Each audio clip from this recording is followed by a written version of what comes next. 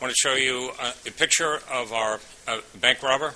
They call him the Holiday Bandit. Armed with a gun, he's hit up seven banks in the New York area in the past two months. He has a gun. Uh, he's uh, displayed a gun in six of the seven robberies that he's been uh, involved in. So, yes, I would consider him to be dangerous. Police identify him as Marat Mikhailych, a six foot five Ukrainian who towers over bank tellers while demanding money. He has a note. Uh, in, in uh, six of the seven robberies, the note was computer generated. In the last robbery, it was a handwritten note.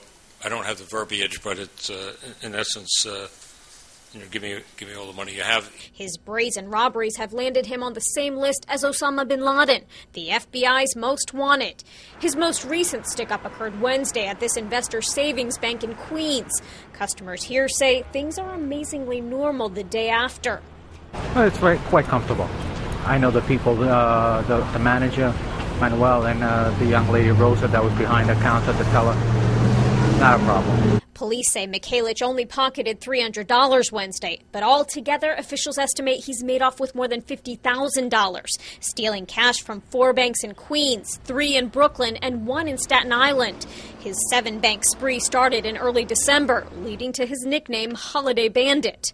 anything with a bandit, it's not a good, uh, good name. Law enforcement identified him through fingerprints he's left on notes and bank slips. There's little known about the gangly Ukrainian with no criminal record. So FBI officials are relying for clues from the public, saying, quote, someone somewhere knows something and we need them to speak up. Until then, police are waiting for him to slip up. They expect he could strike any day now. In New York, Bonny Ghosh, The Associated Press.